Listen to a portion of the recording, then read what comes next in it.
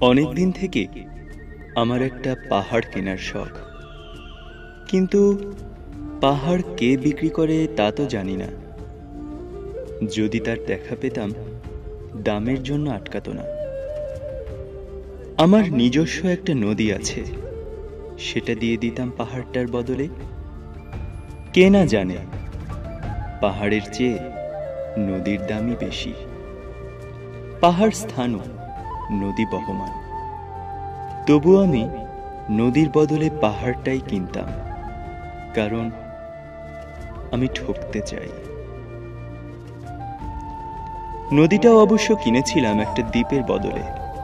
ছেলেবেলায় আমার বেশ ছোট্ট খাট্ট ছিমছাম একটা দ্বীপ ছিল। সেখানে অসংখ্য প্রজাপতি। শৈশবে দ্বীপটি ছিল বড় প্রিয়। আমার যৌবনে দ্বীপটি আমার কাছে মাপে ছোট লাগল।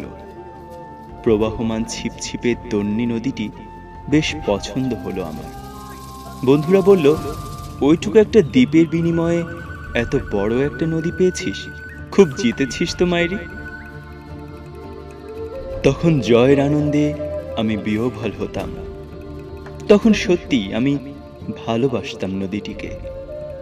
নদী আমার অনেক প্রশ্নের উত্তর দিত। যেমন বলতো আজ সন্ধেবেলা বৃষ্টি হবে কিনা? সে বলতো, আজ এখানে দক্ষিণ গরম হাওয়া।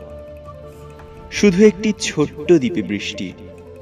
সে কি প্রবল বৃষ্টি, যেন একটা উৎসব। আমি সেই দ্বীপে আর যেতে পারি না, সে জানত। সবাই জানে। শৈশবে আর ফেরা যায় না। এখন আমি একটি পাহাড় কিনতে চাই। সেই পাহাড়ের পায়ের কাছে থাকবে গহীন অরণ্য। আমি সেই অরণ্য পার হয়ে যাব। তারপর শুধু রুক্ষ, কঠিন পাহাড়। একেবারে চূড়ায় মাথার খুব কাছেই আকাশ। নিচে বিপুলা পৃথিবী।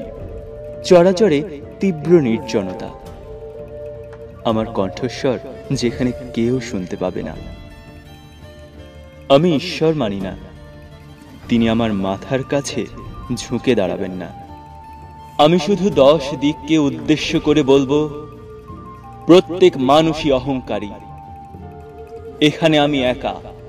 এখানে আমার কোনো অহংকার নেই। এখানে জয়ী হবার বদলে ক্ষমা চাইতে ভালো লাগে। হে দশ দিক আমি কোনো দোষ করিনি। আমাকে ক্ষমা করো।